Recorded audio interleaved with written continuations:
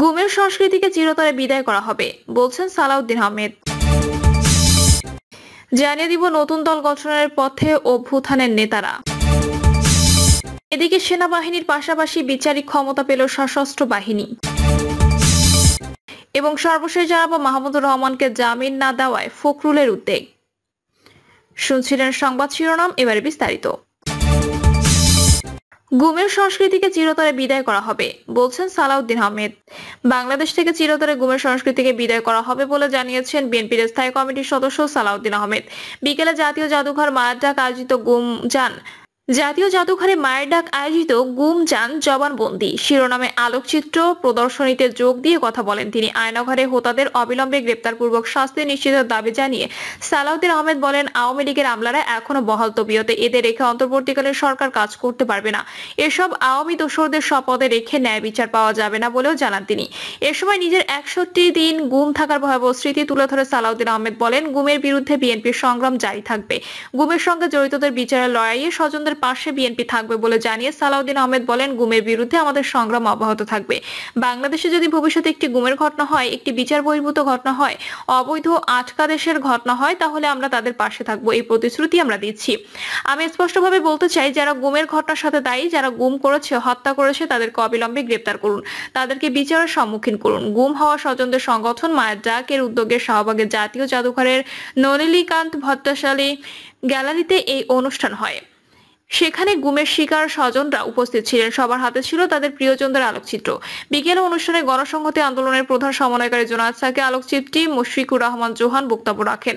সালাউদ্দিন আহমেদ বলেন, আমি নিজের গুম ছিলাম। কবর থেকে বেরিয়ে আসা একজন মানুষ আমাদের দেশ থেকে চিরতরে গুমের সংস্কৃতি বন্ধ করার জন্য কাজ করতে হবে। যারা এখনও স্বজনদের ফিরে পান নাই, তারা তো জিন্দা লাশ। আমি এই অনুষ্ঠানকে থেকে বলছি, সরকারকে সংশ্লিষ্ট সকলকে, যারা গুমের সংস্কৃতির ধারক বাহক, যারা গুম করেছে, হত্যা করেছে, তারা কারা, আপনারা জানেন। বাংলাদেশের জনগণ জানেন, এই জিয়াউল হাসান, বেনজির মনিরুল, ডিবি হারুন বিপ্লবী, মেহেদি যত আছে, no mercy, go to justice.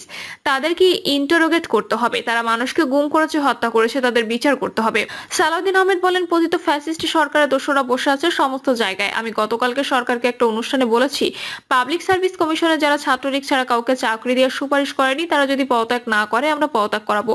এরপর দেখবে সব জায়গায় ফ্যাসিবাদের দোষরা বসে আছে। এরা থাকলে আমরা কীভাবে বিচার পাবো?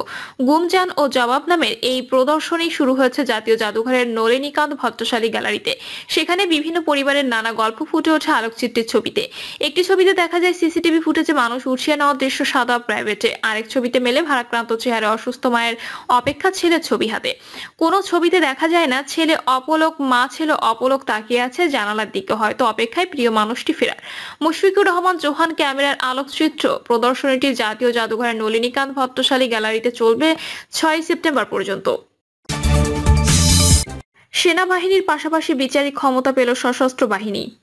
সেনাবাহিনীর পাশাপাশি সশস্ত্র বাহিনীকে সারা দেশে বিচারিক ক্ষমতা দেওয়া হয়েছে। ফলে এখন থেকে সেনাবাহিনীর পাশাপাশি বিমান ও নৌবাহিনী কমিশনার প্রাপ্ত অফিসাররাও নির্বাহী ম্যাজিস্ট্রেট হিসেবে দায়িত্ব পালন করতে পারবেন। মন্ত্রণালয়ের সিনিয়র সহকারী সচিব জেতি প্রুর সই করা প্রজ্ঞাপনে সশস্ত্র বাহিনীর কমিশন প্রাপ্ত অফিসারদের ক্ষমতা প্রদান করা হয়। প্রজ্ঞাপন জারির পর থেকে পরবর্তী ষাট দিন পর্যন্ত তারা এই ক্ষমতা পাবেন। প্রজ্ঞাপনে বলা হয়েছে, ফৌজদারি দণ্ডবিধি আঠারোশো আটানব্বই এর বারো, এর এক ও সতেরো ধারা অনুযায়ী সেনাবাহিনী সেনাবাহিনীর কমিশন প্রাপ্ত কর্মকর্তাদের বিশেষ নির্বাহী ম্যাজিস্ট্রেটের ক্ষমতা দেওয়া হয়েছে। এর আগে গত সতেরো সেপ্টেম্বর রাষ্ট্রপতির আদেশক্রমে সেনাবাহিনীকে বিচারিক ক্ষমতা দিয়ে প্রজ্ঞাপন জারি করে জনপ্রশাসন মন্ত্রণালয়। নতুন দল গঠনের পথে অভ্যুত্থানের নেতারা। ছাত্র জনতার অভ্যুত্থানের সূত্রপাত ঘটানো নেতারা রাজনৈতিক দল গঠনের পথে এগোচ্ছেন। এর অংশ হিসেবে বৈষম্য বিরোধী ছাত্র আন্দোলনের রক্ত পরে জেলায় জেলায় কমিটি গঠন করবে। এরই মধ্যে গঠিত জাতীয় নাগরিক কমিটি অভ্যুত্থানে অংশগ্রহণকারী রাজনৈতিক দলের সঙ্গে ধারাবাহিক আলোচনা করেছে। বিএনপির সঙ্গে তারা বলছে, পরে হবে জামাত ইসলামের সঙ্গে বৈঠক। যদিও জাতীয় নাগরিক কমিটি এবং বৈষম্য বিরোধী ছাত্র আন্দোলন রাজনৈতিক দল গঠনের বিষয়টি আনুষ্ঠানিক স্বীকার করেনি। তবে সংশ্লিষ্ট সূত্র জানিয়েছে, তরুণ ও ছাত্র অভ্যুত্থানের এই দুই শক্তিকে সংগঠিত রাখার কাজ চলছে। অভ্যুত্থানে ক্ষমতাচ্যুত আওয়ামী লীগের পুনর্বাসন ঠেকাতে রাজনৈতিক দলগুলোর মধ্যে ন্যূনতম ঐক্য প্রতিষ্ঠা ধারাবাহিক বৈঠকের মূল উদ্দেশ্য। সংবিধান সংস্কার নাকি পুনর্লিখন করা প্রয়োজন এ মতামত নেওয়া হচ্ছে। পুনর্লিখন হলে তা কীভাবে করা যেতে পারে এই ভাবনাও জানতে চাওয়া হচ্ছে। ইতোমধ্যে এবি পার্টি ও গণ অধিকার পরিষদের সঙ্গে বৈঠক করেছে নাগরিক কমিটি। মাহমুদুর রহমান মান্নার অসুস্থতার কারণে গণতন্ত্র মঞ্চের সঙ্গে বৈঠক পিছিয়ে গেছে। বৈঠকের সত্যতা নিশ্চিত করেছেন জাতীয় নাগরিক কমিটির আহ্বায়ক মোহাম্মদ নাসির উদ্দিন পাটোয়ারি। তিনি বলেন, রাজনৈতিক দলগুলোর সঙ্গে পরিচিতমূলক সভা হচ্ছে, পরে আনুষ্ঠানিক বৈঠক হবে। কি আলোচনা হচ্ছে প্রশ্নে নাসির উদ্দিন বলেন, আনুষ্ঠানিক আলোচনা শুরু হলে গণমাধ্যমকে জানানো হবে। তবে আগে যেসব বৈঠক হয়েছে সেগুলোর সূত্র জানিয়েছে নাগরিক কমিটি আগামী নির্বাচন এবং তাতে জোটের সম্ভাবনা নিয়ে কথা বলেছে। শিল্প খাতে এবং পাহাড়ের সাম্প্রতিক অস্থিরতা নিরসনে তারা কি ভূমিকা রেখেছে তা নিয়েও কথা হয়েছে। এতে একটি দল প্রশ্ন তুলেছিল, নাগরিক কমিটি ডক্টর মোহাম্মদ ইউনুসের নেতৃত্বাধীন সরকারের অংশ নাকি সরকারি দল? নিজেদের সরকারি দল হিসেবে না মানলেও সরকারের সংস্কার কর্মসূচির সঙ্গে নিজেদের সম্পৃক্ততার কথা স্বীকার করে নেন নাগরিক কমিটি নেতারা এই প্ল্যাটফর্ম থেকে রাজনৈতিক দল গঠিত হলে নির্বাচনে জোট হতে পারে কিনা প্রশ্ন বৈঠকে রাখেন কমিটির নেতারা। কমিটির এক সদস্য বলেন, জাতীয় নাগরিক কমিটি কখনো রাজনৈতিক দলে রূপান্তরিত হবে না, তবে সব অভ্যুত্থানের পর নতুন রাজনৈতিক বা রাজনৈতিক দর্শনের জন্ম হয়। দুই সালের অভ্যুত্থান থেকেও তেমনটি হবে, এজন্য পরিস্থিতি যাচাই করা হচ্ছে। তবে বিদ্যমান ব্যবস্থায় নির্বাচনী রাজনীতি সহজ নয়। ভোটের মাঠে সক্রিয় দলের মধ্যে বিশেষ করে বিএনপির সঙ্গে বৈরিতা সৃষ্টি হলে তা অভ্যুত্থানের লক্ষ্য অর্জনে ব্যাধা সৃষ্টি করবে। আরেক সদস্য জানিয়েছেন, রাজনৈতিক দলগুলো কি কি করবে না এমন প্রতিশ্রুতি চায় নাগরিক কমিটি। তার দলগুলোর সঙ্গে বৈঠকে বলা হচ্ছে। অভ্যুত্থানের পর ঢাকা বিশ্ববিদ্যালয়ের ছাত্র সংগঠনগুলোর বৈঠক থেকে বিরোধে না জড়ানো মারামারি থেকে বিরত থাকার প্রতিশ্রুতি এসেছিল। তবে তা রক্ষা করা হয়নি। অভ্যুত্থানে কার কত বড় অবদান তা নিয়ে বিরোধে না জড়ানোর বৈঠকের উদ্দেশ্য ছাত্র জনতার অভ্যুত্থানে গত পাঁচই আগস্ট ভারতে পালিয়েছেন শেখ হাসিনা। সরকারি হিসেবে সাত শতাধিক মানুষ নিহত হয়েছেন জুলাই গণহত্যায়। বেসরকারি হিসেবে এই সংখ্যা এক হাজার পাঁচশো একাশি। আহত হয়েছেন একত্রিশ হাজার আন্দোলনকারী। বিএনপি জামাত সহ যেসব দল দুই হাজার দশ সাল থেকে শেখ হাসিনা বিরোধী আন্দোলন করছে তাদের নেতাকর্মীর সর্বাত্মক অংশগ্রহণ ছিল অভ্যুত্থানে যদিও সরকারি চাকরিতে কোঠা পুনর্বহালের প্রতিবাদে বৈষম্য বিরোধী ছাত্র আন্দোলনের ব্যানারে পহেলা জুলাই আন্দোলনের সূত্রপাত হয়েছিল। শেখ হাসিনার পতনের পর বৈষম্য বিরোধী আন্দোলনের সমন্বয়ক পরিচয় বিভিন্ন স্থানে চাঁদাবাজি, দখল সহ নানা অপকর্ম হচ্ছে। তা ঠেকাতে বিভিন্ন জেলায় মত বিনিময় সভা করেছেন প্রকৃত সমন্বয়করা। একে স্থায়ী রূপ দিতে জেলা ও উপজেলায় কমিটি করা হবে বলে জানিয়েছেন তারা। সরকারের কার্যক্রমকে ত্বরান্বিত করার প্রেসার গ্রুপ হিসেবে কাজ করছে জাতীয়তাবাদী প্রাথমিক পর্যায়ে একশো এক সদস্যের কমিটি গঠনের পরিকল্পনা রয়েছে। একাধিক সমন্বয় এ তথ্য জানিয়েছেন, তাদের ভাষ্য, অরাজক পরিস্থিতির অবসান ঘটিয়ে স্থিতিশীল পরিবেশ না আসা পর্যন্ত বৈষম্য বিরোধী ছাত্র আন্দোলন রাখবেন তারা। গণ অভ্যুত্থানের চেতনা রক্ষা স্থানীয় প্রশাসনের সঙ্গে কাজ করবে জেলা কমিটিগুলো।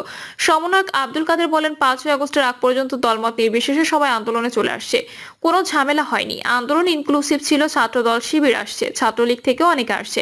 সাধারণ জনতা আসছে, তবে পাঁচই আগস্টের পর থেকে স্বাভাবিকভাবে পরিস্থিতি ভিন্ন হয়েছে। যার যার মতদর্শ অনুযায়ী কাজ করা শুরু করেছে, এ কারণে আলাদা আলাদা গ্রুপ হয়ে গেছে। ছাত্রদল শিবির আলাদা গ্রুপ করেছে, অনেকে অপকর্মে জড়াচ্ছে, কিন্তু তারা সমন্বয়ক নামধারী। সাংগঠনিক পরিচয় থাকলেও নাম হয় অমুক সমন্বয়ক, চাঁদাবাজি করছে, মারছে ইত্যাদি। সব কমিটি ভেঙে দিয়ে লাভ হচ্ছে না, আবার কমিটি না থাকায় সাংগঠনিক ব্যবস্থাও নেওয়া যাচ্ছে না। তাই জেলা ভিত্তিক বা উপজেলা ভিত্তিক কমিটি দেওয়ার কথা ভাবছে, সমন্বয়ক নামের বিতর্ক ঠেকাতে এই নামে কোনো পদ থাকবে না কমিটিতে।